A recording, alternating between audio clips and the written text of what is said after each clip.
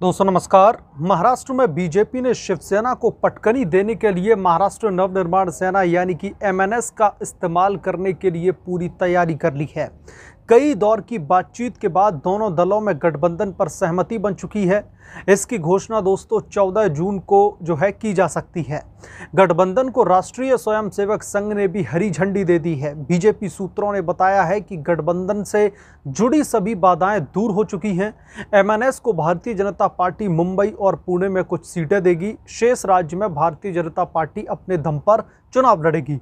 इस संदर्भ में अंतिम अहम बैठक 21 अप्रैल को की गई। इसमें दोस्तों, संघ के लोग भी मौजूद थे। इसी बैठक में गठबंधन पर सैद्धांतिक सहमति बनी है। सीटों के बंटवारे समेत कुछ अन्य सवाल पर जो है बाद में फैसला किया जाएगा।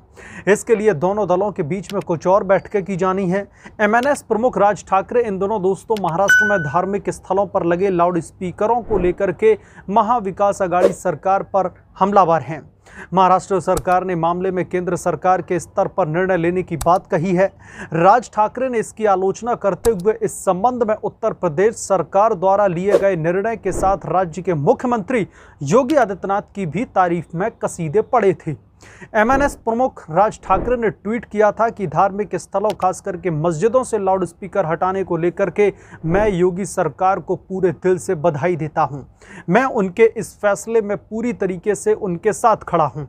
दुर्भाग्य से महाराष्ट्र में कोई योगी नहीं है। हमारे पास में सिर्फ़ सत्ता के भोगी हैं। मैं ईश्वर से उन्हें सद्बुद्धि देने की प्रार्थना करता हूँ।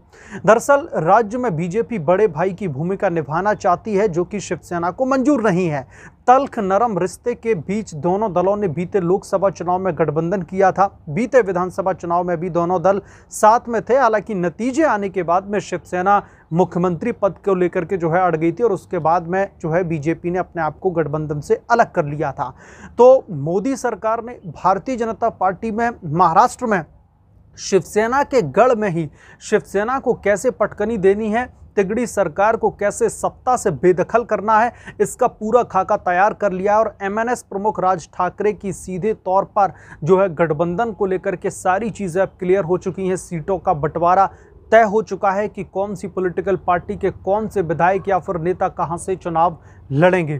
तो मोदी जी ने तोड़ निकाला है कि कैसे तिगड़ी सरकार को बेदखल किया जाए और अब मुझे लगता है कि कुछ गिने चुने दिन ही या फिर महीने कह सकते हैं, तिगड़ी सरकार के रह गए हैं क्योंकि चुनाव के बाद में जो है यकीनन तौर पर कैसे जो है तिगड़ी सरकार के जो भी घटक हैं, उन्हें ऐसे सत्ता से बाहर निकाला जाएगा जैसे लोग दूध में पड़ी मक्खी को बाहर निकाल देते हैं।